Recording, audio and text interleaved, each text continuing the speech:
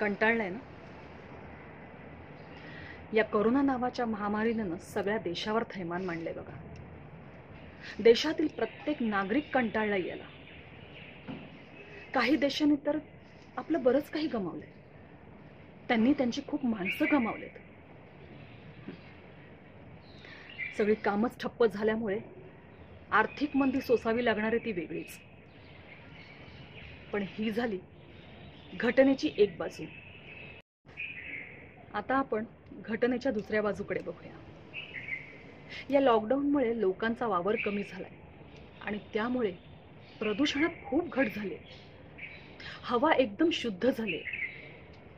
जलप्रदूषण कमी झाल्यामुळे पाणी सुद्धा एकदम शुद्ध झाले ध्वनी प्रदूषण कमी झाल्यामुळे हल्ली पक्ष्यांची किलबिल सुद्धा ऐकू येऊ लागली. एवढंच काय?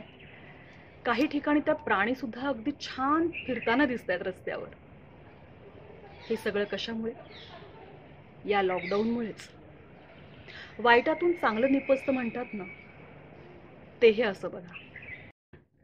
आपल्याला फक्त एकच काम करायचं आहे लॉकडाऊन संपल्यानंतर प्रदूषण कमीत कमी करायचंय.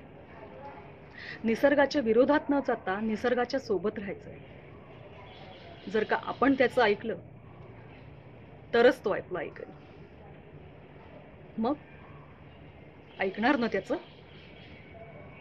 ऐकाच. धन्यवाद. नमस्कार मी चेतन वडनेरे.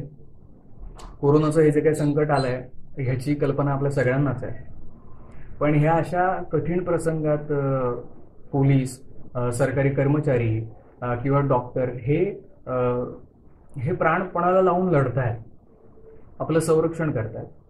मग आपली पण एक जबाबदारी आहे की आपणही घरात राहून स्वतःचं संरक्षण करावं.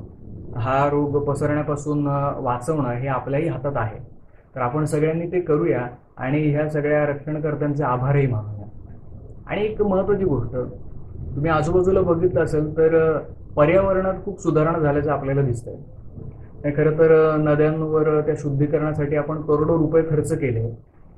पर्यावरण संरक्षणासाठी अनेक स्कीम काढल्यात वगैरे भरपूर भरपूर गोष्टी केल्या पण त्याचा जो काही परिणाम आहे तो फार कमी होता.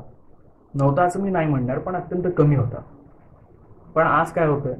आपण सगळे घरात होत पर्यावरण स्वतःला बरोबर व्यवस्थित करत आहे म्हणजे पृथ्वीत ती ताकद आहे निसर्गात ती ताकद आहे स्वतःला हील करण्याची.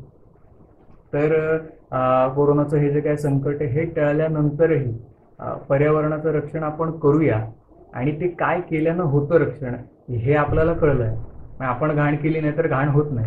इतकी बेसिक गोष्ट जरी कळली आपल्याला तरी खूप झालं. आणि ही तुम्हाला कळली असेल तर इतरांनाही सांगा आणि या पर्यावरणाचं रक्षण करूया.